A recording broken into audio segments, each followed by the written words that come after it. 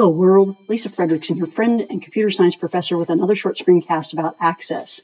This time we're going to talk about the enter parameter value error message dialog box when you open up a form or report.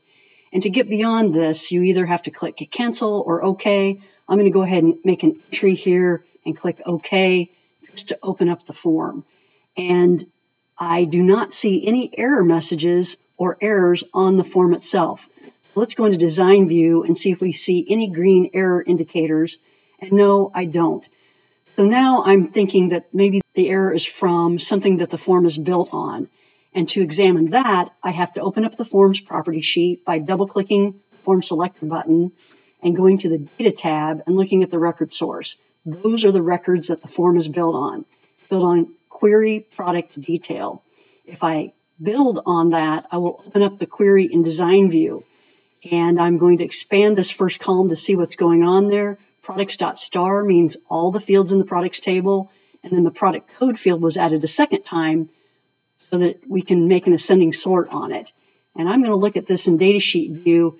And I'm not getting any prompts that there are any errors here.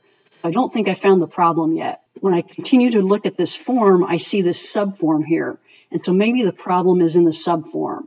So I'm going to select a subform, double click its form selector button, open up the property sheet for the subform, and look at its record source property on the data tab. I'm going to build. I'm going to look at this in datasheet view, and I found the error. Quantity is being prompted when this query is being opened, and this query is what's feeding that subform.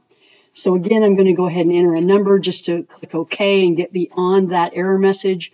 But I'm going to go back to design view and try and find it on each field, I see that the fields look like they're spelled correctly. It's very common for expressions we enter in manually have typos. And indeed, on close inspection, I can see that I've misspelled the field name quantity here in this extended price expression.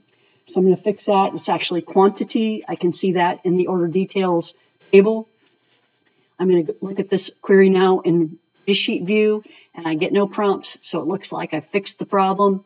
I'm going to go ahead and close this query down and save it and open up my form and form view.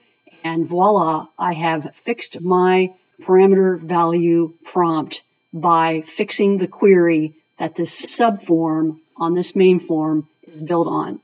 Thank you.